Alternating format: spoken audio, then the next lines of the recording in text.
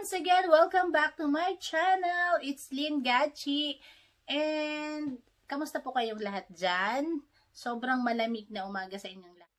And para po sa vlog natin ngayon, uh, itatapik po natin ngayon ay ang tungkol sa Polo Owa.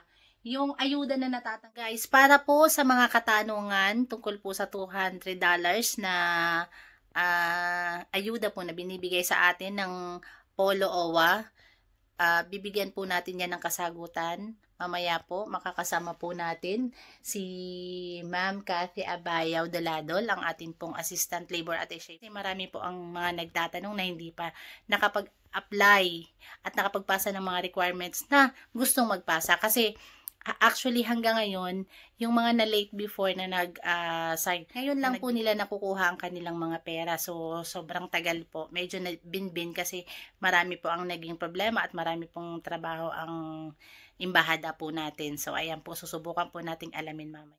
Andito po tayo ngayon sa Kuwait International Airport, Terminal 1.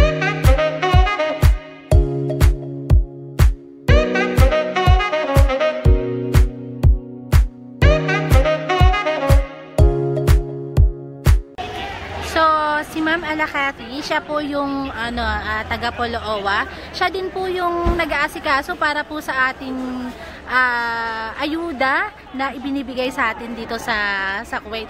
Ano po ang masasabi niyo po? Na yes, oo. Yung para naman po sa mga nagtatanong sa ayuda, yung sa under ng Dole Akap. Uh, ngayon, naubos po ulit natin yung naibigay sa atin na pondo. So, hinihintayin lang po natin yung susunod ulit na fund. And then, i-continuous pa rin namin po uh, sa pamimigay po ng $200 para po sa mga nangangailangan para sa mga workers natin po na uh, natanggalan ng trabaho o nawalan ng trabaho dahil sa COVID-19. So, may tanong po sila kasi meron pong hindi pa nakakapag-sign o hindi nakakapag-avail.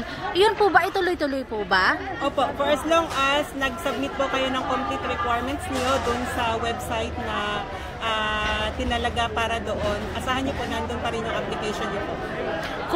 Para po doon sa mga ibang nagtatanong na hindi po sila nakapag-submit po ng kanilang mga application, ah uh, pwede po ba silang mag ano mag-apply pa po ulit?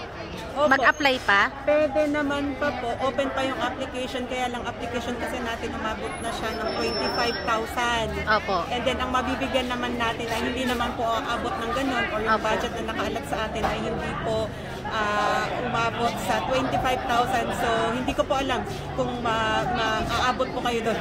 Opo. So, so po pwede po silang mag-apply uh, ng ano ng application pero hindi po tayo nakakasigurado kung hanggang makakaabot pa po sila. Yes, pero po. pwede pa po sila. Pwede pa po. Ah, okay po. Kasi po actually marami po ang nagtatanong sa sa akin o sa amin na kung pwede pa daw kasi actually marami pong mga Pilipino na hindi po nakapag nakapag-apply.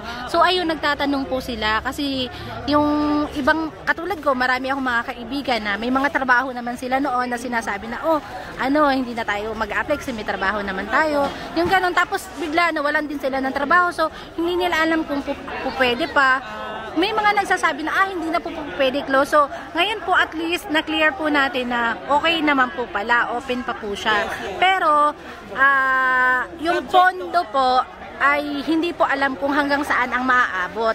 Ngayon, kung makakaabot po sila, makaka-avail po sila, parang ganun po. Yes, yes. Ah, okay.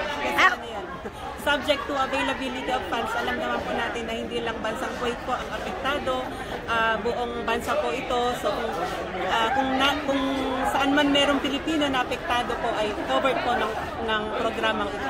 Ay, maraming maraming pong salamat. Actually, ako po ay isa po sa nakakuha po ng, ng ayuda po ng, ng polo po. Kaya po, nagpapasalamat din po ako. At saka maraming maraming pong salamat sa inyo po. Thank you so much po. Opo, thank you po.